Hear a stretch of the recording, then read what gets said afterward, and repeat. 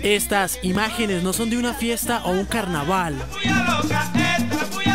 Son para hacerle más alegre y llevadera a las personas la cuarentena obligatoria decretada contra la expansión de coronavirus. Para recordarles que el aislamiento preventivo es obligatorio. Nos gustó el evento, el haber compartido cinco minutos con nosotros, ya que estamos pasando por una, por una pandemia. Sucede en el municipio del Espinal, a 200 kilómetros de Bogotá, en Colombia, y se le conoce como la capital folclórica del país. El principal objetivo de estas actividades es que mientras las personas están aisladas en sus casas, no se genere violencia intrafamiliar.